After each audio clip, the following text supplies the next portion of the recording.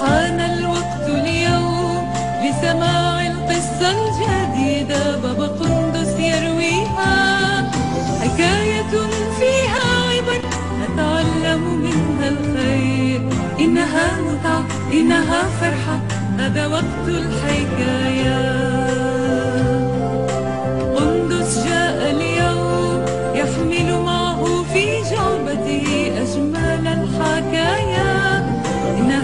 تجعلنا نفرح وتجعلنا سعداء.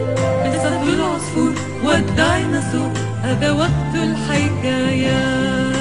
هيا تعالوا يا أطفال حان الوقت اليوم. هيا تعالوا وانتبهوا